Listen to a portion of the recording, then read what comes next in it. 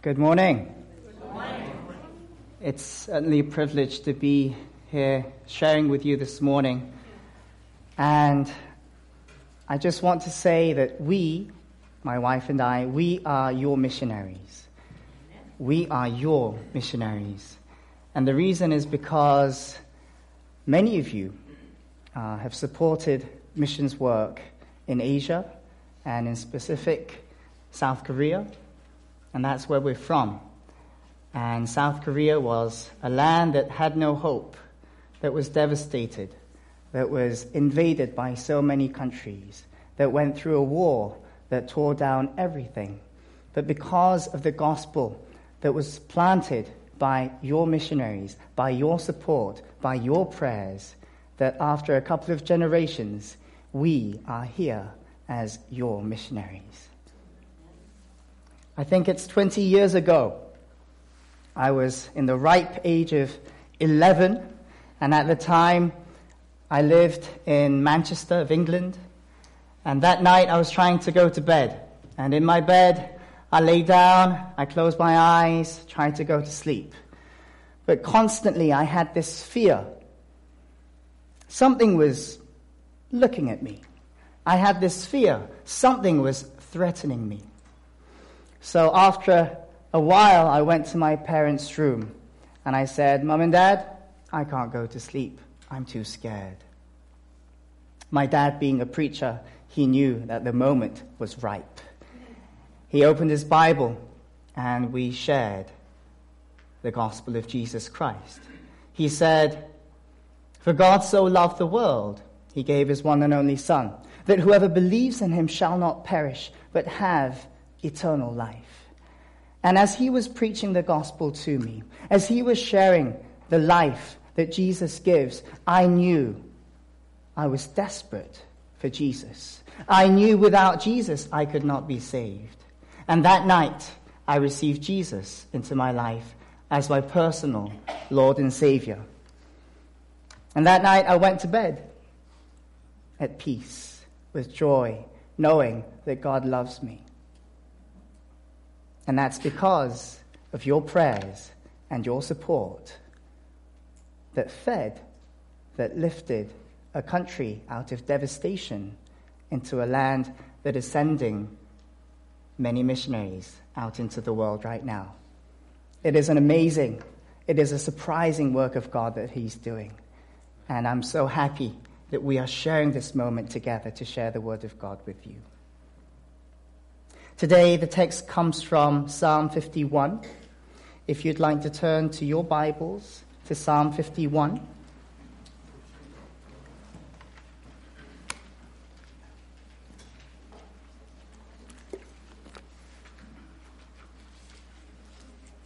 Psalm 51 is found on page 562 in the Pew Bibles.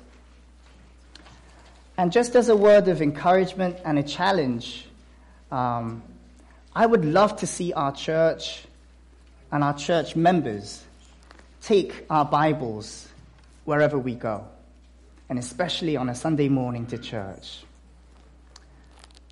Psalm 51. Let me read for you.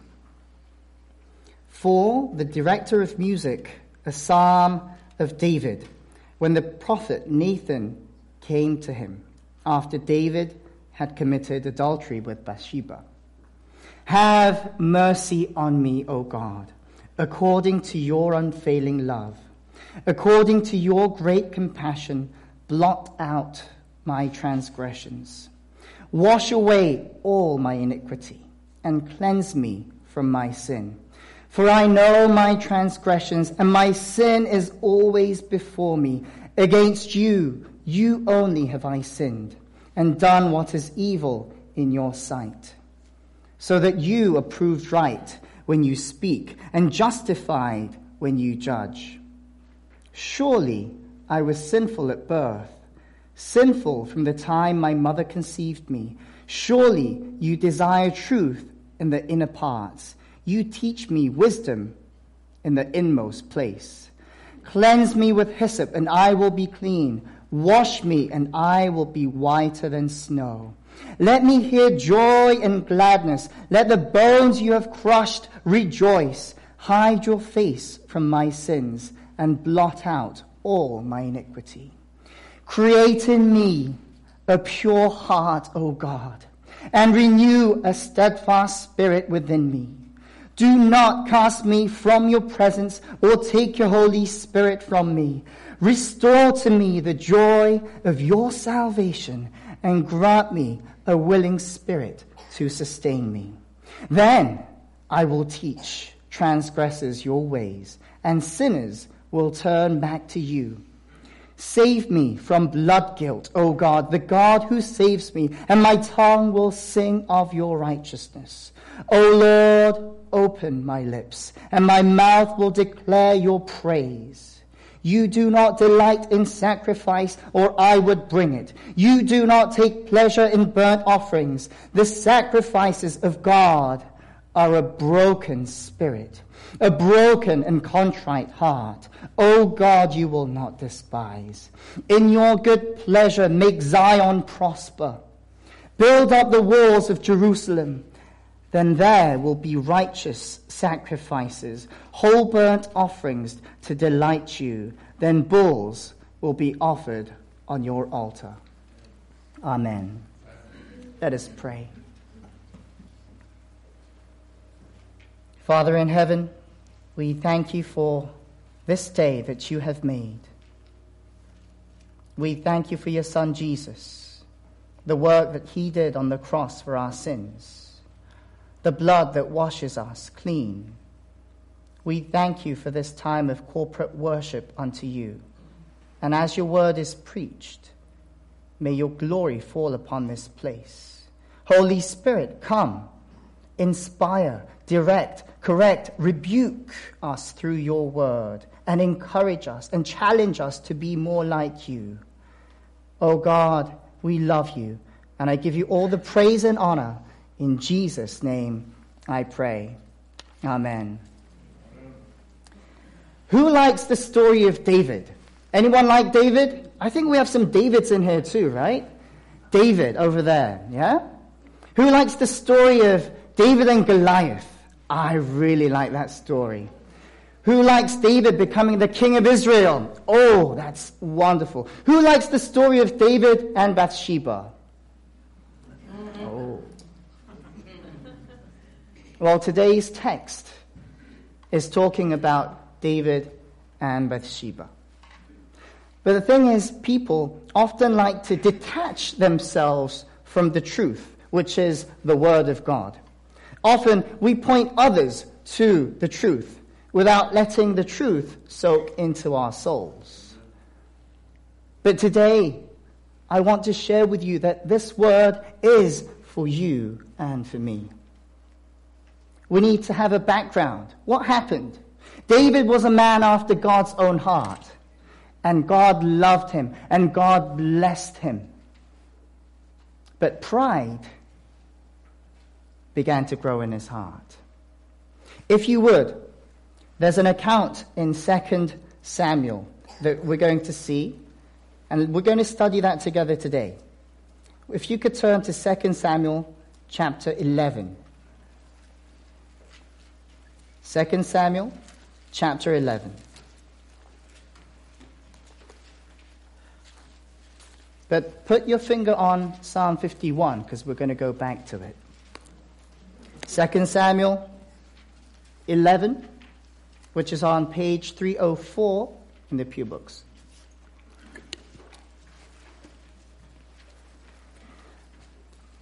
Are we all there? Yes, no, or wait. all right, we're all there. I'm going to go through this really quickly, so you really have to focus. So, beginning from verse 1 of chapter 11, it says, In the spring, at the time when kings go off to war, David sent Joab out with the king's men and the whole Israelite army. They destroyed the Ammonites and besieged Rabbah, but David remained in Jerusalem.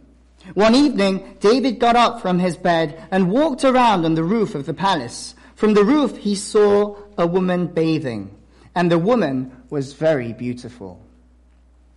Let's stop there for a while.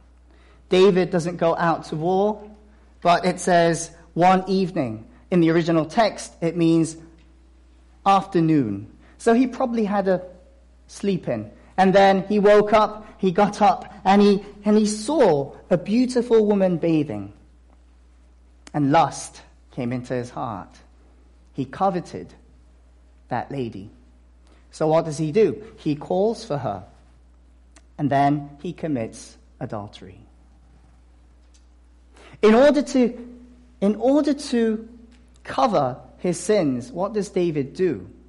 Well, he tries to have Bathsheba's husband sleep together with them so he could cover up his sin. But that doesn't happen because Uriah, the husband of Bathsheba, is a loyal, loyal servant. So in the end, David kills Uriah. Let's skip over a couple of verses to verse 26. When Uriah's wife heard that her husband was dead, she mourned for him. After the time of mourning was over, David had her brought to his house, and she became his wife and bore him a son.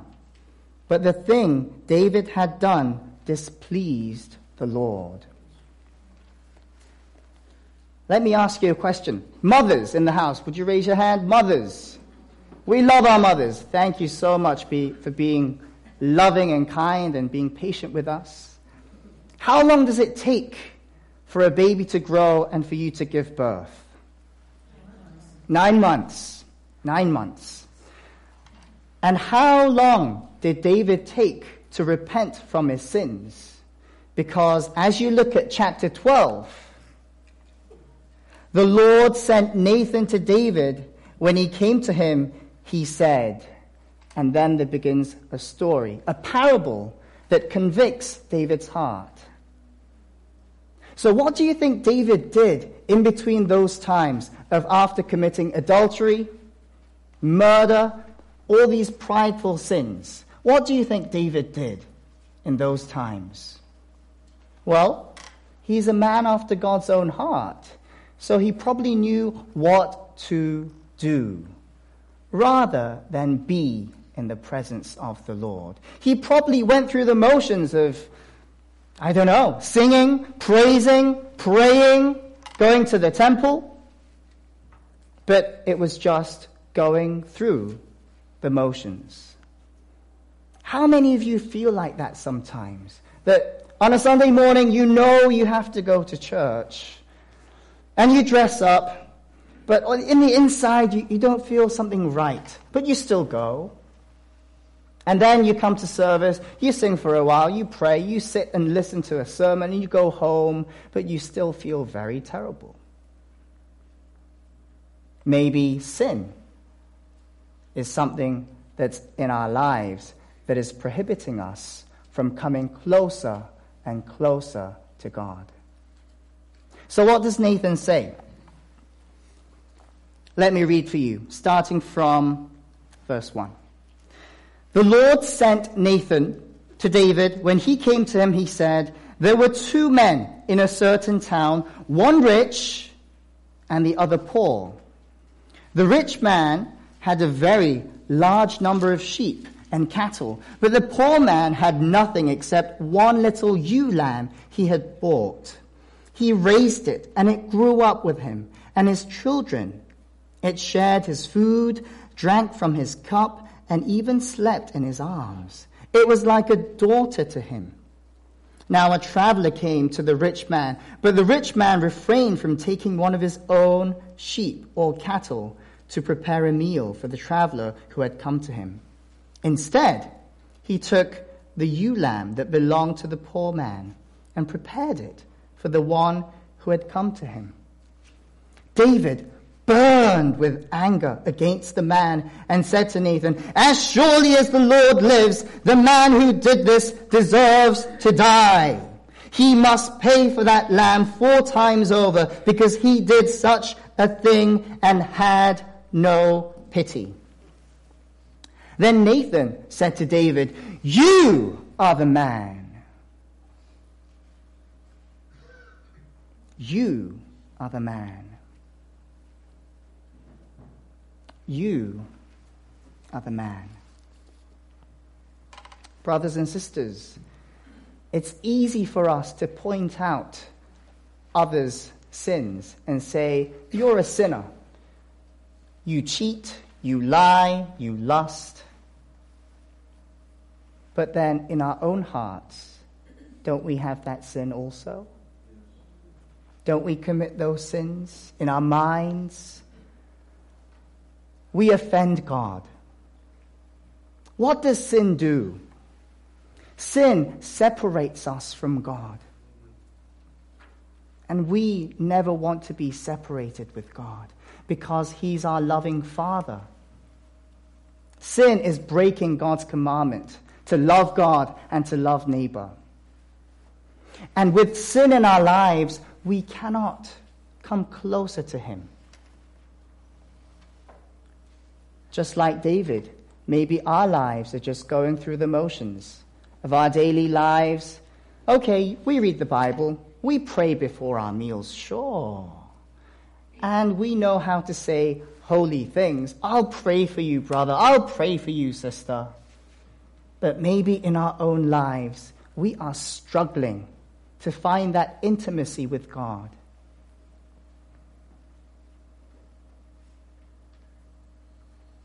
And it's a dreadful feeling.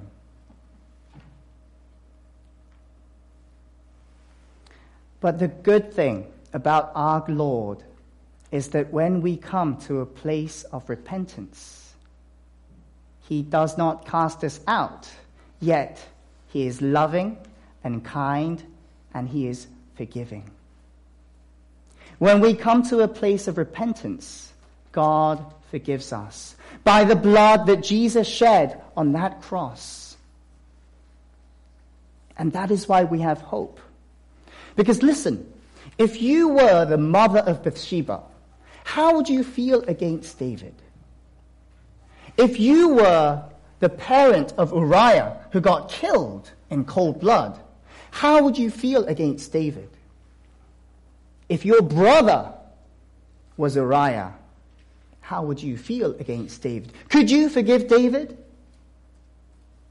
But when David comes to repentance before the Lord, the Lord forgives. And some people in this world cannot get over the fact that God forgives our sins.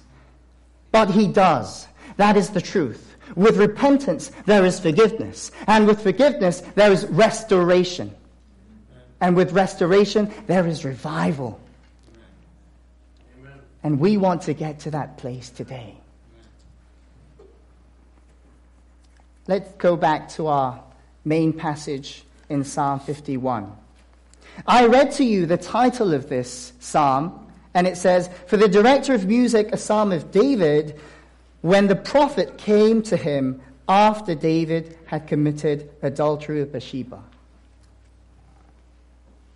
So when the Lord brought the prophet Nathan to David's life, this is where David's character comes out. When his sin is revealed in his heart, what does David do? he repents. And this is the psalm of his repentance. And I pray and hope that this will speak to us today. I see three things that happen in David's life through this psalm of repentance. The first is that repentance restores our personal relationship with God. Our individual relationship with God is restored through repentance. What does David say? In verse 10 to 12, it says, Create in me a pure heart, O God, and renew a steadfast spirit within me. Do not cast me from your presence or take your Holy Spirit from me. Restore to me the joy of your salvation and grant me a willing spirit to sustain me. Jesus says in Matthew 5, Blessed are the pure in heart, for they will see God. Do you see God in your lives? If we want to see God, God is calling out for purity and holiness. If you feel like there's something blocking your relationship with God, that you cry out to Him day and night, but you feel like nothing's happening, maybe it's because of the sin that is blocking that line of communication. And that is why David probably goes to his knees and cries out this prayer Create in me a clean heart, O God, and renew a steadfast spirit within me. When's the last time you shared your testimony? Because it says here, Restore to me the joy of your salvation. You know, I've been living in the United States for two years, but my English is pretty good, right? And many people say to me, Oh, here we don't like to offend people. So if they don't like what you're about to say, just don't say it. And if you do offend them, say you're sorry. I didn't mean to offend you. And it's like you can't really even say a statement of faith nowadays because you might offend other people. But the truth of the matter is, if you are certain about your salvation, if you know that God is good and that Jesus reigns in your life, and if you see people who do not know the Lord in desperation, it's going to be natural for you to share about Jesus, isn't it? It has to be like, oh, didn't you know Jesus is our Savior. He died for you. And we would lovingly share the gospel with them. Sometimes you don't even have to say anything. Sometimes you just put a shoulder over their hand over their shoulders and say, God loves you. Let me pray for you. And that's the kind of restoration God is seeking in this generation. Man, I, am learning at school about the great revivals in church history class. And wow, they used to be amazing. I mean, I heard that uh, people would get together and, and pray, and in the churches they would have meetings, and lots of people would come together and, and be saved. And I'm like, well, in the scriptures, it says Jesus Christ is the same yesterday, today, and forever. So if we believe in the same God, that's still going to happen today if we cry out, if we are repentant, if we seek his face. Amen? Amen. That's what we are praying for. But that begins with you and I. Our personal relationship with God needs to be restored, rekindled. The fire needs to burn again. The passion for his name has to burn again. Verse 13 Then I will teach transgressors your ways, and sinners will turn back to you. Wow. You know, as a young Christian, I used to read Psalm 51, and I used to really kind of stop at verse 12 because I, I love creating me a new heart, that, that part, but I never really read verse 13. But it says, then. So after our relationship has been restored with God, it says, then I will teach transgressors your ways, and sinners will turn back to you. Wow. Repentance restores our personal relationship with our neighbors. Repentance restores our relationship with our neighbors. Maybe you have your children who don't believe in Jesus yet. They are your neighbors too. Maybe you have some co-workers that don't know Jesus yet. They are your neighbors. And in the parable of the Good Samaritan, Jesus speaks in Luke about what a real neighbor is.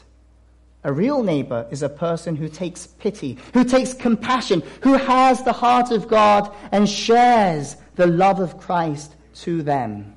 It's like that good Samaritan who did not pass that half dead man, but went to him and served him. With everything he had, he served him. And that begins with repentance. that begins with God's grace and mercy alone.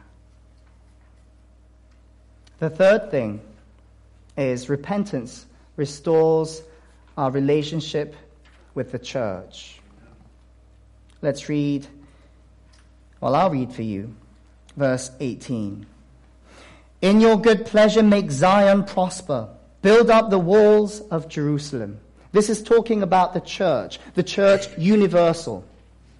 It's praying, interceding for the saints. It's funny because uh, my wife, Pal, and myself, we are going to West Africa, a place called Burkina Faso. Who's heard of that place before? Well, you guys are great because I had never heard of it before until I went into Google Maps. But it's a place that needs the gospel and they are our neighbors. And there are churches there that need God's word and restoration. And we've been praying. And you know what? God has been miraculous in his provisions. He's prepared a way for us to go and speak to university students. We're going to do open evangelism. We're going to be speaking at about three churches. And it's such a privilege to be able to share this love, this forgiveness I have received with the many people who have never heard of Jesus Christ. And that is why David prays for the church. David intercedes for the church. Repentance, brothers and sisters, does not stop at me restoring my relationship with God, but that is contagious it overflows to our neighbors, our children, our parents, our neighbors, our nephews. But not only that, it flows to the church universal so that God's kingdom might expand.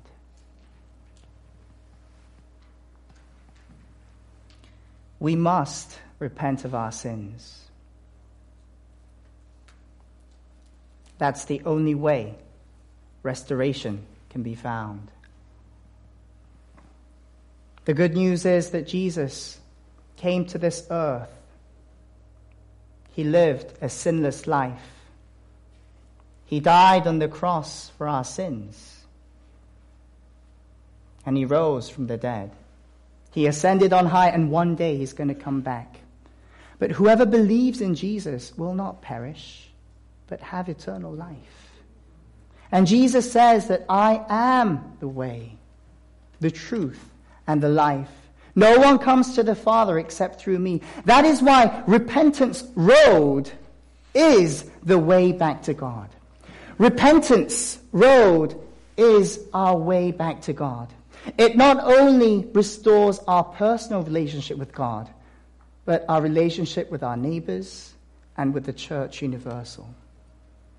This is the key to revival, brothers and sisters. Without repentance, there is no revival.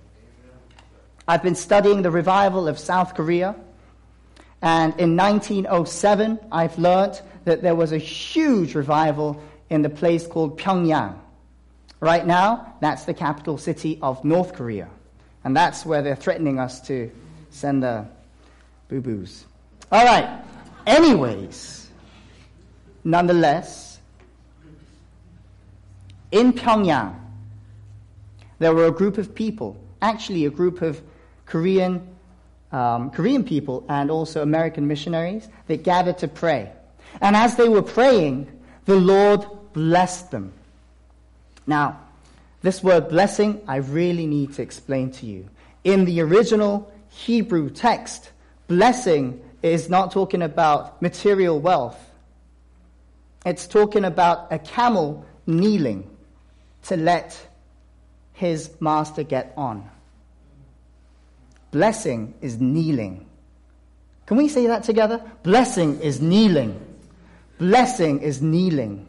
It's kneeling before our Father. It's the posture that David takes when he's praying this psalm, kneeling before God. That is blessing. And from that, as you seek first his kingdom and his righteousness, all these things shall be added unto you, saith the Lord. And in Pyongyang, these group of people began to pray and they experienced God's blessing. They began to, to pray, they began to confess their sins to each other. And you know what happened? Then more people came, they began to pray, they began to learn the word, and they went out to their societies, to their local neighbors, and they began to say, Hey, David, I'm so sorry. I cheated on you a couple of weeks ago. And the Lord has put it on my heart to get this right with you. So I confess that. And you know what David did? The non believer? He's like, wow, this Christian guy, he's really honest. Maybe I should go to church. So David comes to church. And this happened. It blew up. See, it all begins with that one person's repentance. And then it expands to our neighbors. And then the church of God grows exponentially. Wow! I would love to see that happen here. And I'm praying for that to happen here. Every night we pray for revival in this region of New England. And I pray that you're praying that too. Amen? One last thing I want to share with you today is that Psalm 51 is a prayer. Psalm 51 is a prayer of David in repentance to God. But how did this come about? When Nathan came to David and spoke truth into his life, his heart was convicted and he went on his knees and he repented to God. as you are hearing the word of God right now, the Holy Spirit will convict your hearts of sins. The next step we must take is to pray. Is to pray and ask the Lord for forgiveness, for purity and holiness. I don't know how you pray. In Korea, when a church gathers to pray, it's very exciting.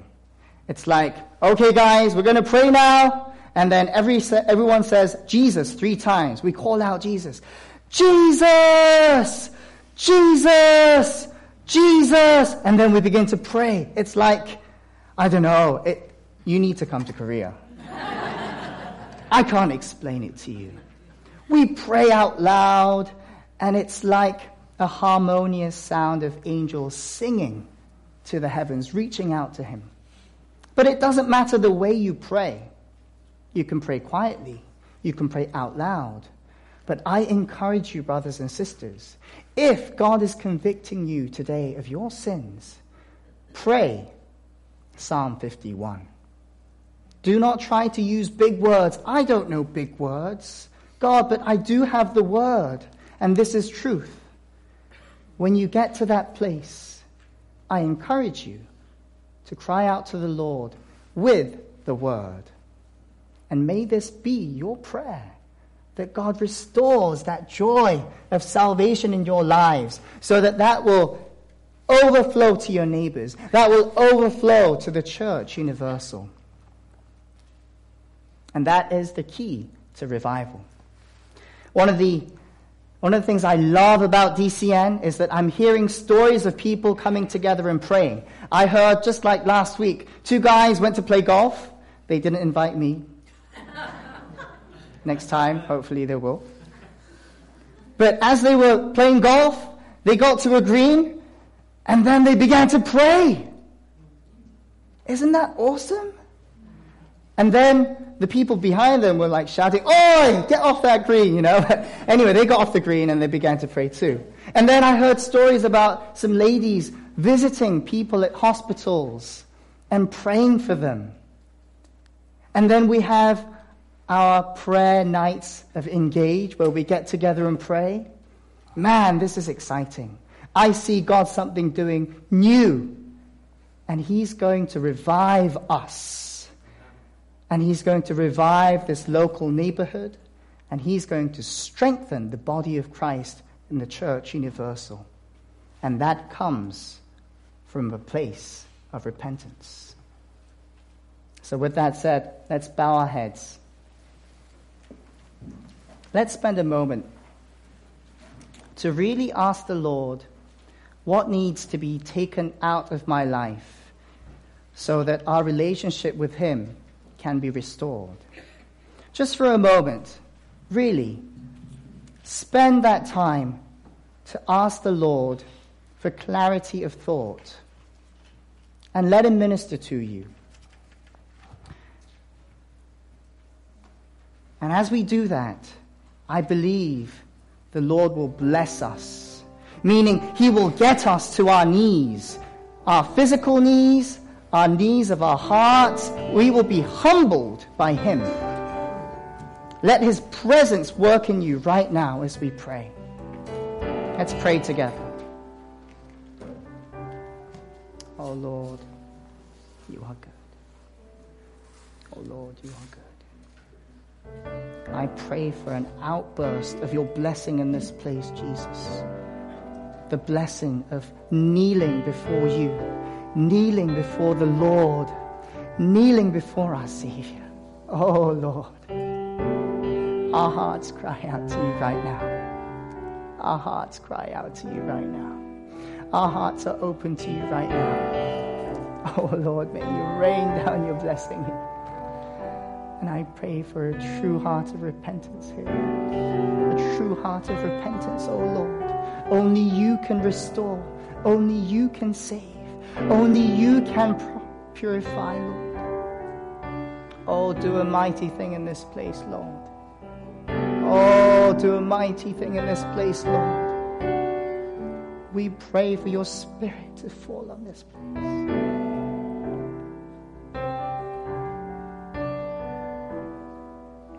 I believe the Lord is speaking to you right now to kneel before Him. To kneel your hearts, to humble yourself before Him. Because God hates the proud, but gives grace to the humble. And with that heart of humility, we must come back to God. Repentance road is the way back to God. And we must get back on that road of repentance.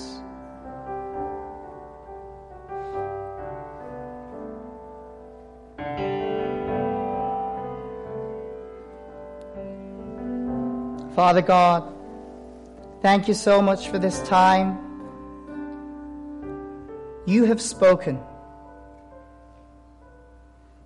So, Father, work in our hearts and our minds so that we may take repentance road, the way back to you.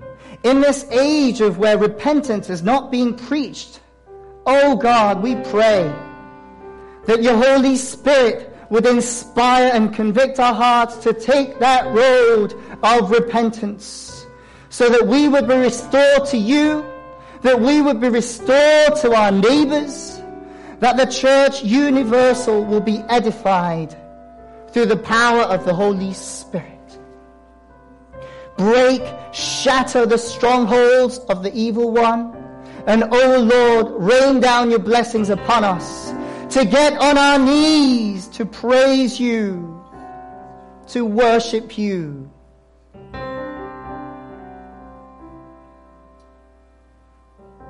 We love you, Lord. And in Jesus' name we pray. Amen.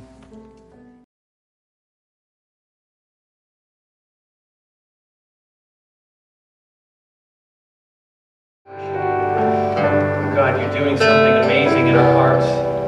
It's only you that can do it, God. We thank you.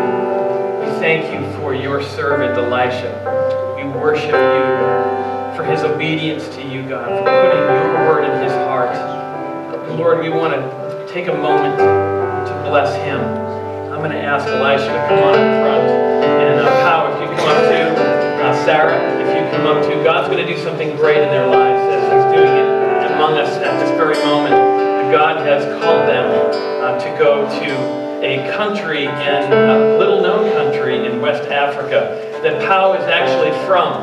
And uh, he's joined us. And uh, we want to pray for him. We want to pray for them as uh, we, as their church, are sending them to share the gospel with numbers of people.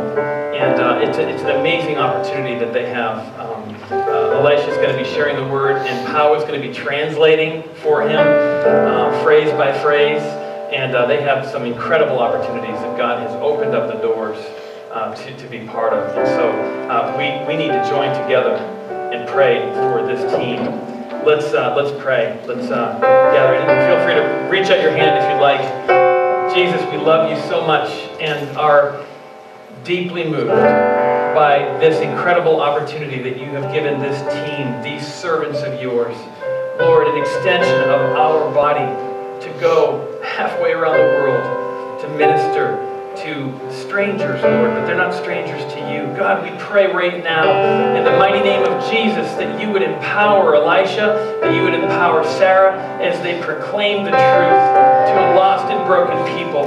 God, would you enable and empower them with supernatural power, power that they cannot conjure up on their own. Jesus, we know that you've called them, and the Holy Spirit that you have that you have led them and drawn them to this amazing opportunity. And we pray, God, that you victorious, that your Spirit would convict and draw. We pray, God, that we, as, as the rest of, of their church, could back them, Lord God, not just in our prayers, but Lord, that we could back them financially as they seek to, to purchase Bibles for the new Christians, the many new Christians that will be, uh, be part of the kingdom of God. Our brothers and sisters, Lord. Oh God, we worship you. We anoint Elisha Sarah and Pau as they go to do what you've called them to do. In the mighty name of Jesus, we give you the glory and the honor. It's in your name we pray. Amen. Amen. We have two ushers that will be at the back doors. Uh, on your way out, any loose cash that's not otherwise designated uh, will go toward their mission trip, uh, toward purchasing these Bibles, as we've mentioned. Uh, also, if you'd like to designate some extra money, you can write a check, make it up to DCN, but in the memo, please make sure it's clearly marked as Elisha, or just say uh, Cho's mission trip, and we'll make sure that that money is funneled toward uh, the purchases of those Bibles. God bless you. He loves you so much. As God continues to work in your heart, be open to Him. You are loved. God bless you. Have a great day.